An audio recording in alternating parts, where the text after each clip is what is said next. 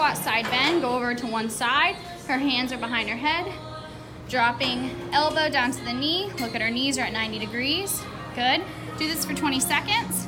Go ahead and do non-modified version cast. Good, so notice she's tapping her toe this time. Good. All right, rest. You get a 10 second rest and then you get to do the other side. Take some deep breaths in and out. All right, cast act like you had 10 seconds.